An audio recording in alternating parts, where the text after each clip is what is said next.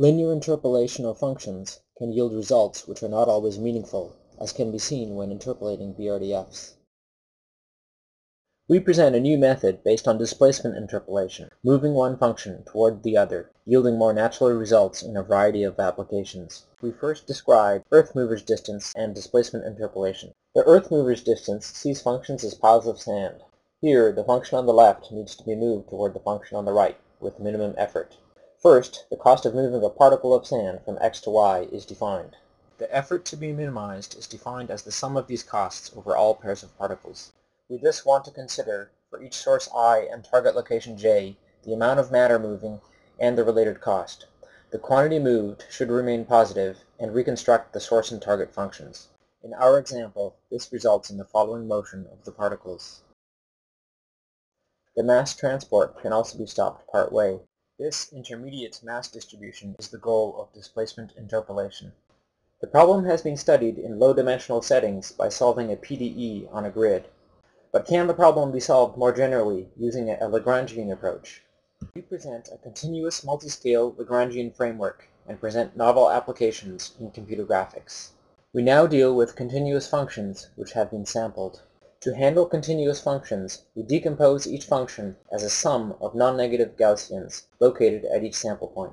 Doing so allows discrete particles to be replaced by a continuous representation constructed from non-negative localized functions. The advection of these then allows for the reconstruction of intermediate interpolated functions. The combination of a discrete earth mover's distance and continuous radial basis functions allows for arbitrarily sampled functions on different manifolds. However, problems arise when dealing with more arbitrary functions. In this example, we take a function and add an offset. As we can see, in this case, the default displacement interpolation behaves much like linear interpolation. To remedy this problem, we propose a multiscale approach, decomposing the function into multiple bandpass signals. The EMD computations and the advection are then performed separately for each band. This results in proper advection of the reconstructed function. Here we demonstrate the method on synthetic 2D examples.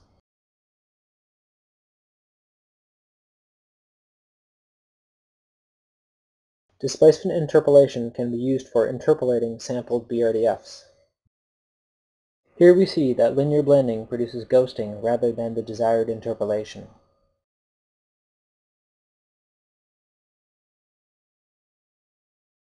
Using displacement interpolation results in a proper rotation of the anisotropic reflectance. We now move on to show the interpolation of measured BRDFs. Linearly interpolated results remain specular, while displacement interpolation progressively increases the roughness. Displacement interpolation can also be used to interpolate environment maps. We first show linear interpolation of point-sampled environment maps. The shadows remain static.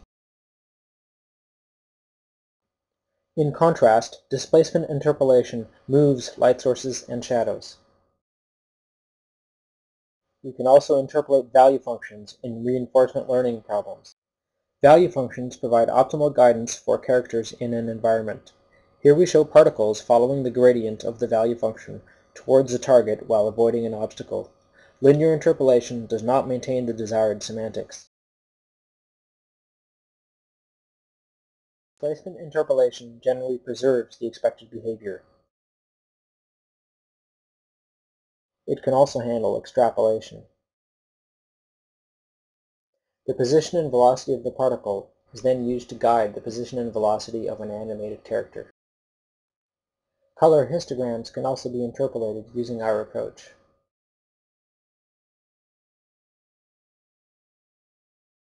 Stipples and strokes can be advected in a way that guarantees that no collisions will occur. We compare the result to that of a greedy matching technique.